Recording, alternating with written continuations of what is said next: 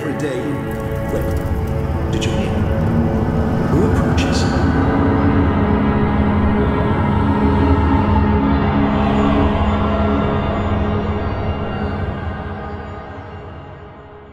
The plane of Hypnerotomakia.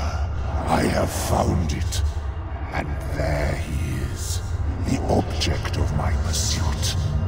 I do not seek the Seven Gods' wealth. I seek you the last heir of Uroboros. I will take you away from here, dragon, and bring you to the city of Aleroth, where my true self rots away deep beneath the cobbled streets, kept alive only by my dormant powers. Free me, and I will free the divine in turn. His notions are but illusions, my friend, as is the idea that you have a choice. To Aleroth we fare.